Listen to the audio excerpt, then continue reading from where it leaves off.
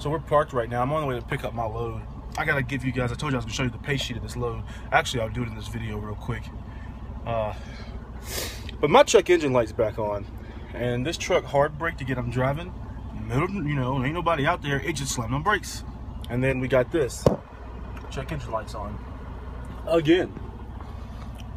So at Prime, whenever you have a hard brake, that's what happened. You get a critical event.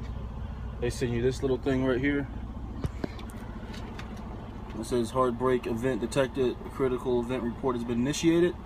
And then now I have to answer to Prime basically to their safety department. They already called me, I talked to them. I told them this truck's having issues.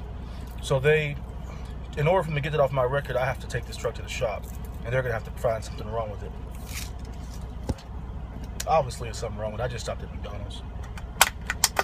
It's not healthy, but I had to go back to the bank so I can get a, a, uh, uh, direct deposit form from them. That's all the problem takes. You got Bank of America, and you got McDonald's chill. You can't see it. It's over there behind the, the trees, but it's chilled in the cut.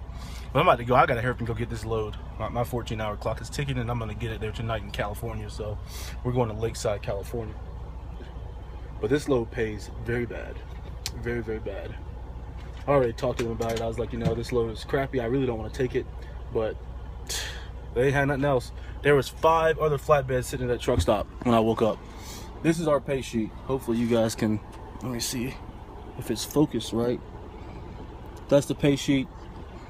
And the mileage, oh, it don't add up. It don't add up. It does not make sense.